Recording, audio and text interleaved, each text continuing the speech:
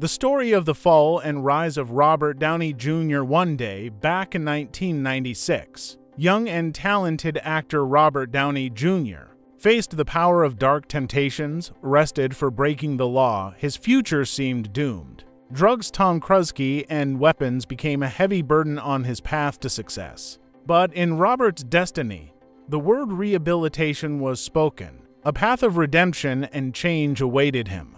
Mastering martial arts became his path to overcoming difficulties, and his black belt in judo became a symbol of his strength and determination.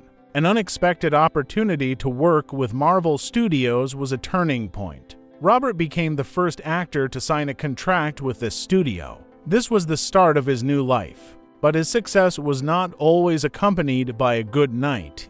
Insomnia became his companion, and sometimes he was lost in the dark worlds of sleep right on the set. Mastery of embodiment of the role of Sherlock Holmes required research into the depths of the human soul. Robert Downey studied photos of drug addictions to fully immerse himself in the image of the genius detective.